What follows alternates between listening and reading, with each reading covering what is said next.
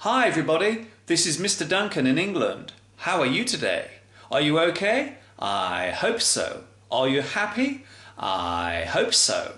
In this lesson, we're going to look at irony and coincidence.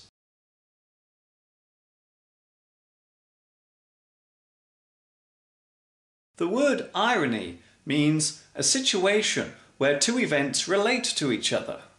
Often there is a deep and profound meaning to this, sometimes producing an emotional response, such as regret or sadness. Irony can be either positive or negative, depending on the situation. The occurrences can also be described as ironic. You may find yourself saying, Isn't it ironic? That is so ironic. Here are some examples of irony. I went to town this morning to buy a new wallet, and on the way I lost my money. I rushed to catch a bus, but just missed it. Then 15 minutes later, three buses arrived at the same time. My first child was born on the anniversary of my father's death.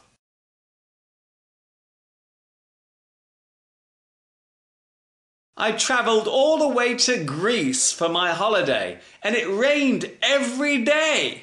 When I returned to England, I found that the weather here had been hot and sunny.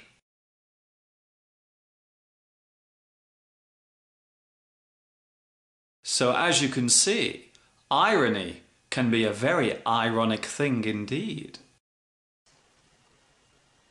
Coincidence.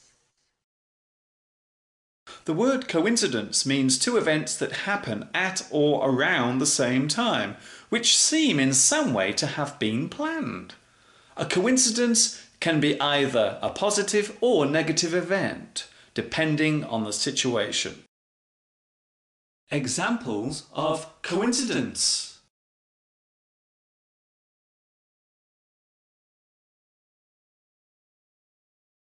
Yesterday, I was talking about my best friend in China, and this morning I received a letter from him. What a coincidence! The car and motorbike were coming around the sharp bend at the same time and could not avoid each other. It is a sad coincidence. I travelled all the way to Australia, and during the second day there, I bumped into one of my former work colleagues. Such a coincidence! Maybe you discovered my English lessons while you were searching for something else on the internet. What a lucky coincidence! This is Mr. Duncan in England saying thanks for watching and bye bye for now.